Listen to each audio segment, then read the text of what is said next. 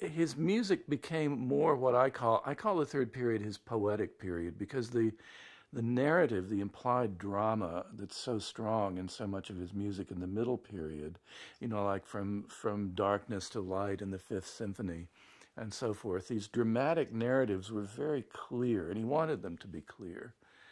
But I think he turned away from those narratives in the late music to a more kind of poetic and quasi improvisatory uh, way of putting pieces together. The old forms, like sonata form, were still there, but they were sunk deeper beneath the surface. Sometimes you don't even know that they are there, but sometimes you don't notice them.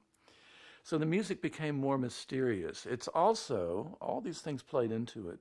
Music by a guy who, who was going into the later stages of deafness. Uh, most of the late music was written when he was functionally, he was never 100% deaf, but he was functionally deaf and had to write down conversations uh, starting in 1818. So he could only hear music in his head. So, in a sense, for that reason, his music became more interior. It was a kind of interior monologue that he could no longer hear out there anymore. Even he still spent a lot of time improvising on piano, but he couldn't hear it, which for me as a musician and composer is one of the saddest things of all. This image of hours of Beethoven playing music he couldn't hear at the keyboard.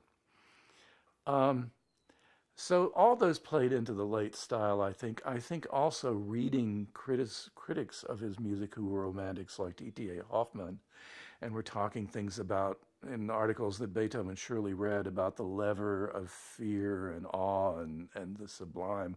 All these romantic ideas that were not fundamental to Beethoven as a person, but he absorbed everything. He absorbed everything like a sponge.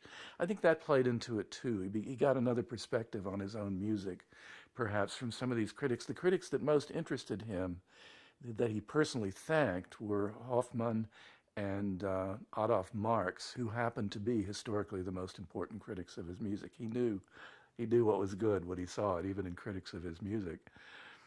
Um, I think all that played into the late style, but after that, you know, who can say where these things come from? I mean, to me, to be a genius is to amaze yourself. You don't, any honest person of great talent knows that they're not ultimately responsible. It's something, you know, Stravinsky said, the rite of spring, I am the vessel through which the rite of spring came into the world. And he, he said, I don't know where it comes from. Um, where do these things come from? It was a kind of music, a kind of spirituality that had never been in music before, never been in the world before. So you can find reasons for it, but ultimately, it has to do with whatever it is, the angels or, you know, your metaphor here. It's what comes through you. And things like the A minor quartet, the Opus 132, um, this uh, kind of mystical beginning of this little motif turning around on itself and then exploding in an allegro um, these kind of new ways of putting pieces together in much more free and as if improvisatory ways are part of it. But I don't think the, the Ninth Symphony is a total, um, I'm sorry, I don't think the late music is a total break with him at all. What he did was to intensify everything. Uh, if he had contrasts, you know, much more intense contrasts in his earlier music, they became even more intense.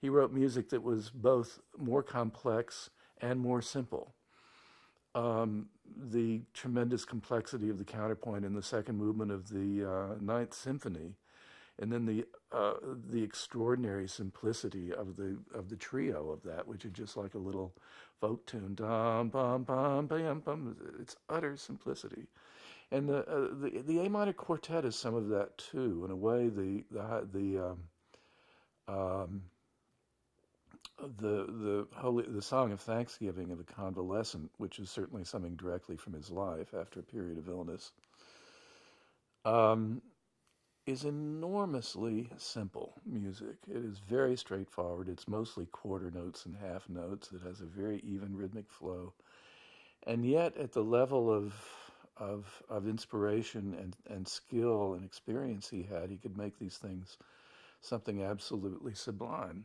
Um, so the third period is all those things at the same time, but there's a mystery at the heart of it, like everything else, like all music that's any good, like all art that's any good, like love and joy and God and things like that. They're all indefinable.